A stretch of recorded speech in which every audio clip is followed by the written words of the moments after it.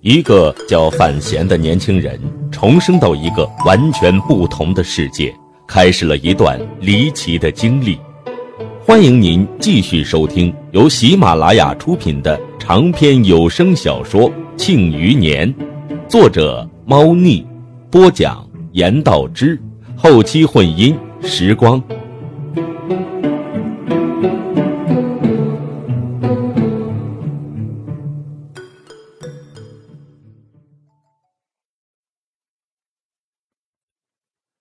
第三百零三集。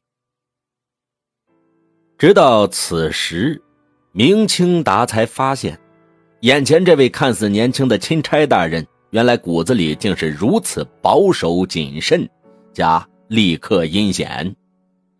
面对着自己给出的如此大的诱惑，竟是毫不动心。直到此时，他才发现，原来范闲要的东西远远比自己所付出的更多，不止四十万两。不只是明家从此以后在江南的暗中配合，而是一种显得有些狂妄、无比嚣张、奢求对内库产销全盘的控制。还请大人给条活路。明清达苦笑说道：“先前是谈明路，此时便只能谈活路了。后四彪再这样下去。”族中上万子弟，还有周边雇的无数下人，只怕明年家里都要揭不开锅了。明家不缺银子。范闲看着面前的明家主人，心里对于对方越来越欣赏。明明是要挟自己的话，说的却是如此的温和卑微，一点都不刺耳，反而透着股服帖滋润。待会儿的后四标，就当你明家把前几年吞的银子吐回来。他微微偏头，眯眼打量着面色有些颓败的明清达，心里不停猜忖着这位明家主人心中的打算，说道：“你应该知道本官的过去，过往年间你卖东西的手法，我很不欣赏。当然。”本官不是不讲理的土匪，只要你们做事稳妥些，本官自然也会稳妥些。所谓稳妥，自然是说的昨夜之事。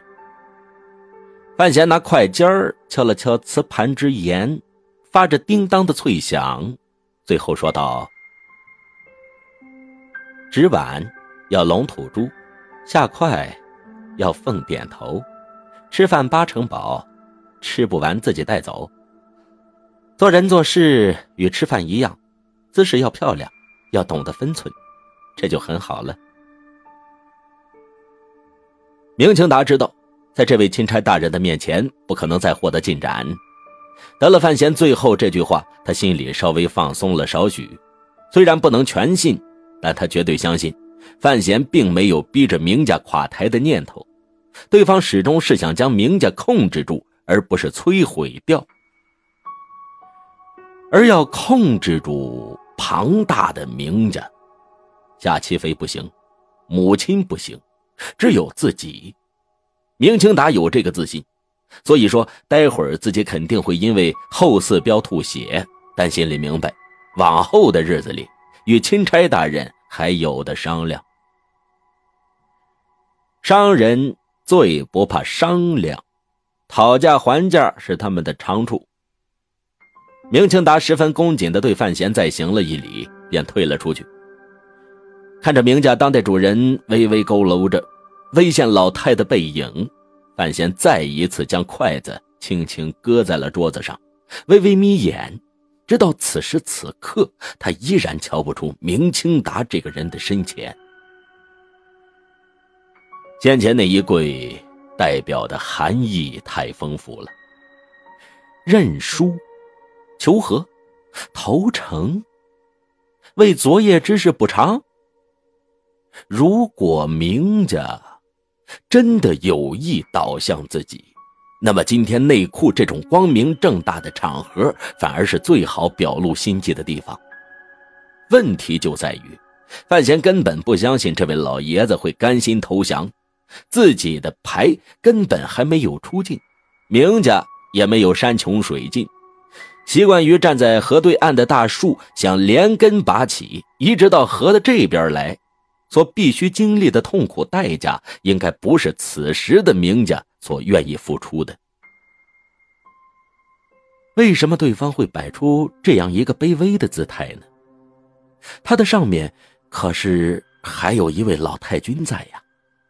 明家要投向哪方，这种关系到全族数万人前途的大事，明清达应该还没有能力做出独断。而且这一跪。跪的并不隐秘，应该已经有人看到，而且马上会传开来。范闲的眼睛眯得更细了，难道对方是准备打悲情牌？在这个还没有产生阿扁这种人物的世界里边，悲情或许是可行的一招，只是刻意在众人面前跪自己一跪，这又能悲到哪里去呢？如果换成别的官员。面对着明清达所表现出来的倾向，一定会心中暗喜。只有范闲不这般想，因为正如明清达所料，他要的东西太多，不是明家给得起的。而且他为这件事情已经准备了许久，他有底气吃掉明家，而不是接受明家的投诚。既然不论什么时候，范闲都可以吃掉明家。那他凭什么还要与明家讨价还价来获取对方的投诚呢？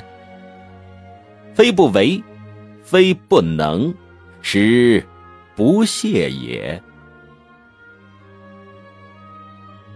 清风跨门而入，吹拂走内库大宅院间残留的食物香气。吹拂走，犹有一丝鞭炮火香，只有凝重的氛围，却是始终吹拂不动。庭院间弥漫着紧张，有若千年寒冰，有若河底巨石。春日春风难容，大江巨浪难动。负责唱里的转运司官员的嗓子已经嘶哑了起来，不是因为说的话太多，不是因为喝的水太少。只是因为紧张，沿着甲乙两廊而居的各房具商们，也早已经坐不住了，隔着镂空的门铃，站在房门高坎内，紧张的盯着外面。下午是内库后四标的叫价，两轮叫价之后，没有人再喝彩，甚至没有人去抹额上的冷汗。上午被明家吓退的泉州孙家，面色惨白的听着价，双眼无神的看着外面，被那两家疯子又惊吓了一番。所有的商人们都觉得今日之行开了大眼，同时，也是受了大惊啊。那是银子，那是银子呀！凭什么甲一房的明家和乙四房的夏家就敢那么往外扔呢？难道在他们眼里，那些厚厚的银票和废纸没有什么区别吗？岭南熊家的熊白领双眼通红的看着外面，有些不敢相信自己的耳朵，对身边的账房先生说道：“刚才厂里是不是报错了？”熊家的账房先生抹了抹额头的冷汗。花厅核算的数字，呃，怎么可能出错呀？哎呦，这天爷爷！夏当家的昨天被杀了几个兄弟，今天开始发狠发疯，这明家居然也跟着发疯。明老爷又不是强盗。您刚才听到的是由喜马拉雅出品，严道之为您播讲的长篇穿越小说《庆余年》。休息一下，欢迎您继续收听。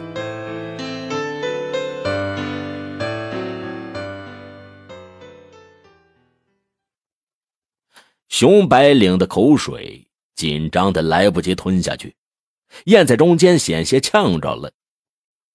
反手夺过一名下属手中的茶杯，灌了下去，压低声音骂道：“夏七飞就是明老七，哼，我看是他们兄弟二人干起了真活呀！哎，当真刺激呀！明家人看来这骨子里呀，都有些疯。”不止唱礼官的声音颤抖着。江南巨商们不停的冒着汗，就连坐在正堂之中的那三位大人，此时都开始紧张了起来。听着第二轮的叫价，黄公公和郭征对望一眼，脸色变得煞白一片。他们二人怎么也没有想到，内库开标最后的四连标，竟然被范闲和明家哄抬到了如此恐怖的地步。明家这四标是亏定了。而且是大亏特亏，对于黄公公和郭征来说，明家的进账减少，江南往京里送的见不得光的银子自然也要少，而且少太多。想到此节，这二人盯着范闲的目光便有些怨毒。范闲虽然用强大的心神保持着面部表情的平静。但如果有细心的人，依然可以看出钦差大人紫色官服的降喜硬挺袖口有些微微颤抖，薄而秀气的嘴唇抿得有些紧，耳垂下面微泛红色。毕竟像今天这种场面，实在是有些少见的。庆国皇帝号称天下最富有的人，但范闲敢打赌。一向不入户部库房的庆国皇帝，这一辈子也没有见过这么多的银票随着唱礼官嘶哑颤抖的声音在天上飘来飘去。一千一百五十万两白银，庆国开国十年之后，举国的财政赋税全部加起来也不过将将一千万两。哪怕是如今已入极盛的庆国，这样一大笔白银，依然是个不可思议的数字。这一千多万两银子，如果用来在江南上收买死士，足以挥手间灭掉东夷城四周的那些诸侯小国，足以成一方之霸。这样大一笔数量的银子。可以换来多少美人啊？可以打造多少战马兵器呀？如果全数投入民生之中，可以修多少里的堤呀？可以煮多少锅粥？可以开多少堂？可以救活多少人？而如果全部换成银锭，又可以压死多少人呢？上午的五百万两银子已经是内库有史以来的最高标价，而下午则是轻轻松松突破了记录，尤其是第二轮叫价，明家便喊出了破千万两的价钱，这不止破了记录，可突破了所有人的心理防线呀！之所以会有这样的结果。当然要归功于明家目前所处的内外交困的局面，以及范闲从北齐皇帝手中借来的大批真金白银。明家必须抢这个标，而夏七飞却有对冲的能力，种种因素加在了一起，才造就了这样一个恐怖的数字。范闲喝了口凉茶。强行压下内心的情绪，打了个很隐秘的手势，啊，意思是，可以了，就到这里吧，休息一下，休息一下。直到此时，范闲才渐渐有些明白了明清达的想法，陛下的想法，很多人的想法。明清达夺标之时，极为服帖的依照范闲的计划走。一方面是受到了信阳方面的压力，另一方面存的想法则有些玄妙。左右不过是送银子，喊价低赚了银子，一部分要交给信阳；喊价高，就等于把银子送给内库，也就等于是送给陛下和范闲。明清达看事看得极准，他看出来朝廷需要自己的银子，所以干脆来个狠的，把自家的家业恨不得砸一半出来。如此一来，又夺了标，又合了范闲的意，两边不能得罪的人，他一个没得罪。只是可惜，他得罪了钱，这么多真金白银，也不知道明家要花多少年才能恢复元气。所谓花钱消灾。明家这一次用在消灾上的银子，实在是下了血本啊。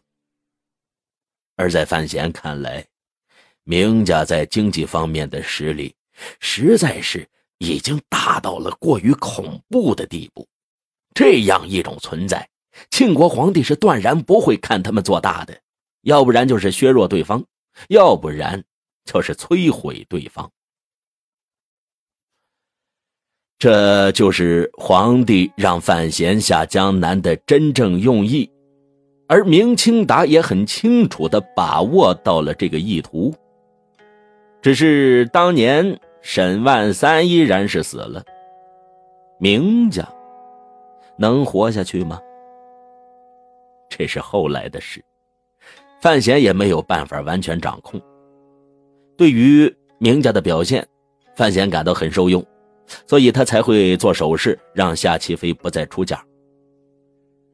不是小农意识作祟，啊，也不是心存怜悯，而是范闲知道，明老爷子的戏肯定还没有演完，一千一百五十万两银子已经足够了。范闲不希望让朝野之中的议论太多，给自己带来太多的负面评价。看到乙四房的强盗停止了喊价。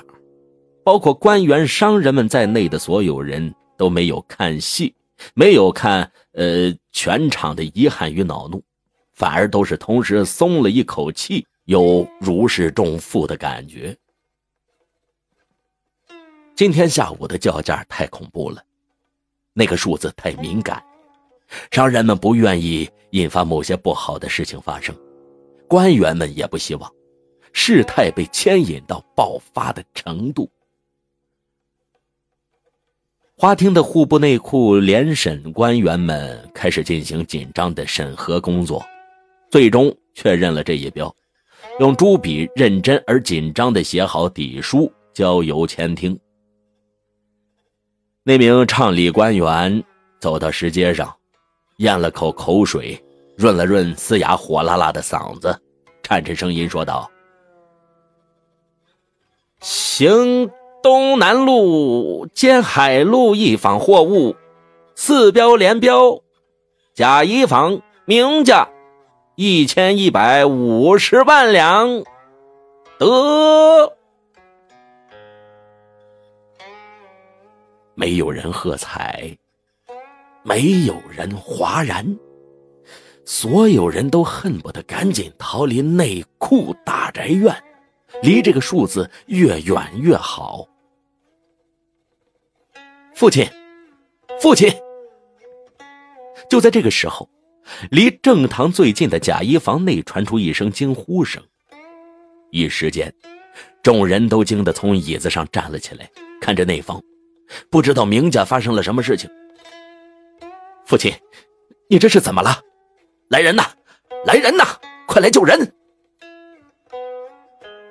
假衣房中传出明兰石少爷惊慌失措的呼救声，杂乱的声音。官员们赶紧推门而入，这才发现，原来明家主人明清达面色铁青，已是昏厥在地。不论官商，都以为自己知道这是发生了什么事情。所有人都以为明家主人被内外压迫。强行抢了这四连标，却被迫标出了天价。一想到明家有可能因为这笔天价而走向衰败，明老爷子急火攻心，这才昏迷不醒。所有人都知道明家是被谁逼到了今天这样凄惨的境地之中，于是乎，庭院内所有人的眼光都下意识里投向了站在石阶上的钦差大人。范闲并不怎么惊慌，眯眼斥道：“慌乱什么？赶紧封库存银，等程序完了，赶紧送明老爷子去就医。”内库开门关门都有一套程序，宅院里放的银票又极多，所以很花了一些时间。一直昏迷不醒的明老爷子才被抬了出去。搬上了范闲特准驶至门前的明家马车，直往医铺而去。谁也没有料到，热热闹闹的内库招标，在连创几个记录、惹来无数凶险之后，竟然会如此凄凄淡淡的结尾。看着明家远去的马车，想到生死未知的明家主人。江南的商人们都不由唏嘘不已，心中生出几丝兔死狐悲之感。明家人先退了，商人们在经过检验之后也退出了内库宅院，剩下的全部都是官员，开始进行内库最后的收尾工作。既然是卖钱的营生，自然清点四成定银银票的工作才是最关键的。三位大人物站在花厅之中，看着户部和转运司官员登记入册、上封条。范闲看着明家最后那高达四百万两的定银之中，最下方夹着一厚叠招商钱庄开出来的银票，眼睛微微一眯，知道事情啊，终于成了。亲爱的听众朋友，感谢您收听由言道之播讲《时光后期婚姻》的长篇穿越小说《庆余年》。如果您喜欢这个故事，欢迎点赞、转采和打赏。本集故事就到这里，感谢收听。